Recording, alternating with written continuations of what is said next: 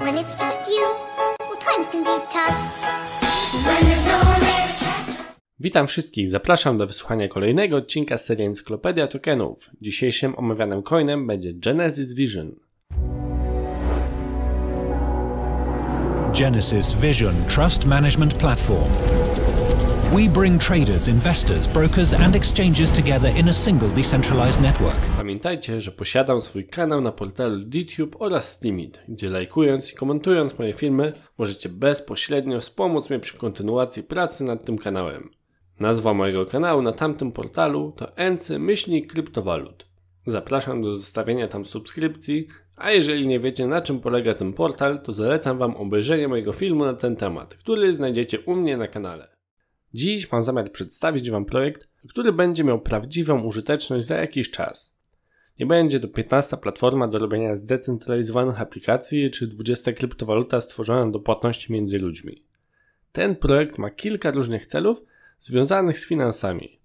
Po pierwsze, chronić inwestorów przed nieuczciwymi brokerami na rynku, a po drugie, maksymalizację zysków inwestorów, no, którzy nie mają czasu samemu handlować i chcą te swoje pieniądze powierzyć jakiemuś zawodowcowi. Standardowo na początku, jaki problem chce rozwiązać ten projekt i dlaczego w ogóle ktoś musi taki problem rozwiązywać. Wspomniałem na wstępie o nieuczciwych brokerach na rynku. Osoby, które swój pierwszy handel na giełdzie rozpoczęły od kryptowalut, mogą nie wiedzieć po co są brokerzy na rynku, może gdzieś tam kiedyś słyszeli to słowo w mediach, no ale nie są pewni po co im ta osoba. Brokerzy na rynku kryptowalut praktycznie nie istnieją, no od tego trzeba zacząć. Ogólnie są to osoby, które pośredniczą między naszymi pieniędzmi, a jakąś giełdą, na której chcemy handlować jakimiś instrumentami finansowymi, no, takimi jak ropa, złoto czy jakieś pary walutowe.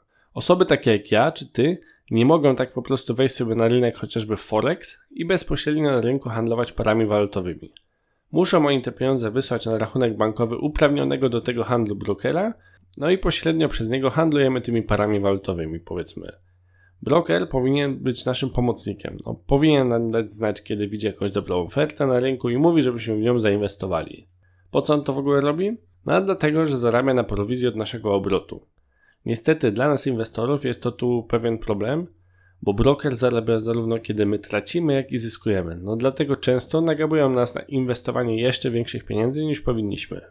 I te słowa, które tu wypowiedziałem, to nie jest żadna ściema, tylko znamie z, że tak powiem, pamiętników kilku brokerów, którzy pracowali przez wiele lat właśnie w tym zawodzie, no i sami tak robili niestety. Poza tym mają oni często tak skonstruowane z nami umowy, że w wielu przypadkach czytałem o jakichś nagłych zmianach cen na rynku, czy przedwczesnym zamykaniu pozycji na stracie, no i tak dalej. Także to jest spory problem. Kolejna sprawa to to też mówiłem, czyli maksymalizacja zysków. Wiele ludzi, którzy chcą tradować na giełdzie, po pierwsze i najważniejsze to nie ma na to czasu, no bo są ludźmi bardzo zabieganymi, zapracowanymi i chcą te swoje zarobione pieniądze dać komuś, aby grał na tej giełdzie za nich i zarabiał za pomocą ich kapitału. No to wtedy też sobie szukają takiego powiedzmy brokera albo menadżera ich pieniędzy i powierzają mu swoją kasę. Niestety nie ma żadnego ratingu brokerów, takiego całkowicie obiektywnego. Nie wiemy jak wygląda ich statement takiego brokera, nie wiemy ile transakcji ma zyskownych, a ile stratnych, no po prostu musimy mu zaufać, że jest on dobry i że ktoś nam powiedział, że on zyskuje dużo pieniędzy. No to niestety jest już cholernie ryzykowne, no i bawimy się tu trochę w hazard. No a właśnie Genesis Vision rozwiązuje te problemy i już Wam mówię jak.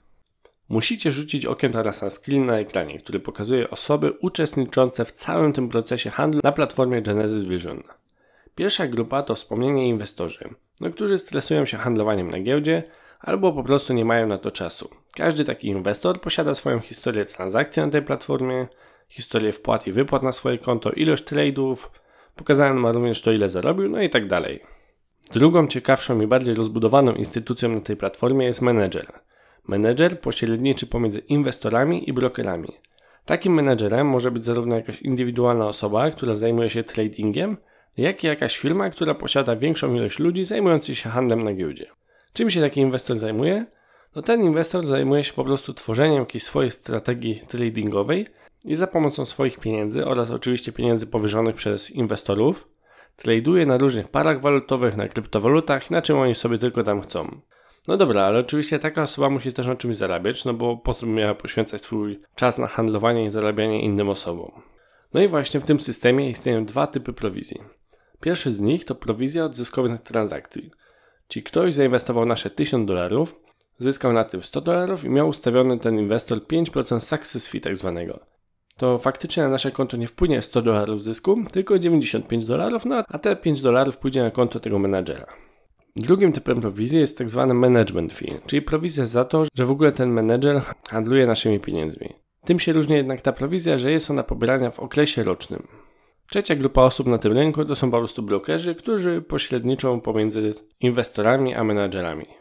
Dodatkowo projekt ten oprócz integracji z różnymi platformami transakcyjnymi takimi jak chociażby MetaTrader, to będzie miał swoją wewnętrzną platformę do handlu tymi wszystkimi assetami. Wersja alfa tej platformy już wyszła na świat dzienny i jest wykorzystywana przez dość sporą ilość ludzi. Z tym wykorzystaniem to jest trochę tak, że platforma jest testowana przez użytkowników, no i nie jest jeszcze wolna od błędów, no bo tak jest w wersji alfa, a wersja poprawiona beta ma mieć miejsce w trzecim kwartale tego roku. Natomiast wersja 1.0, która już ma być w pełni działająca, ma zostać wypuszczona do użytkowników na początku przyszłego roku. Ogólnie zapomniałem jeszcze powiedzieć, że płatności będą tu się odbywać za pomocą tokenów platformy GVT. Tokeny GVT to są tokeny ERC20, czyli oparte na blockchainie Ethereum, no i z racji tego oczywiście można je przechowywać na takich portfelach jak Jax czy MyEther Wallet.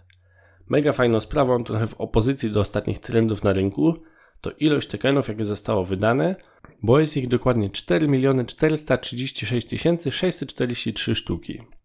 3 czwarte z tej liczby zostało sprzedane w fazie ICO po cenie 1 dolara, więc patrząc na wykres, gdzie GVT osiągnął maksymalnie 40 dolarów, to te osoby mogą mieć naprawdę niezły zwrot z inwestycji. No w sumie nawet teraz jakby sprzedać te tokeny po 13 dolarów, to 13-krotna przebitka i tak jest super.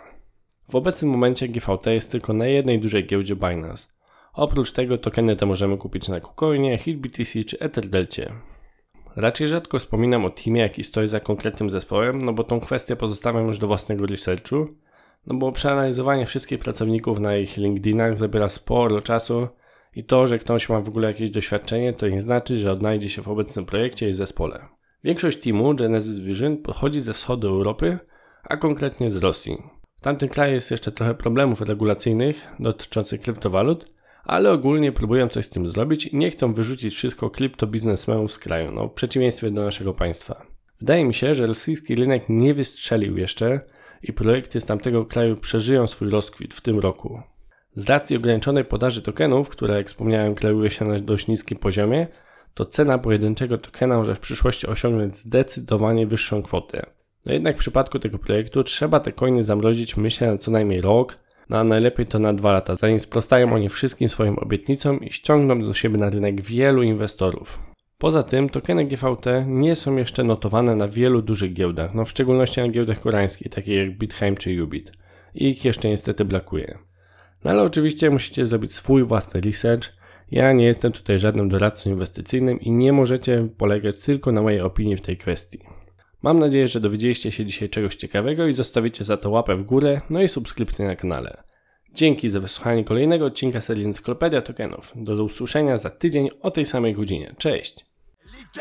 Vanilla, la, la, la, la, la, la.